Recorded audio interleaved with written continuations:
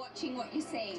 I just love the way that the game flows and moves, and it's just so fast. Whereas, like American football is so boringly staid and stopping all the time, um, and uh, just really, really, really exciting. I don't think we're booming into America, so that's okay. Gil, what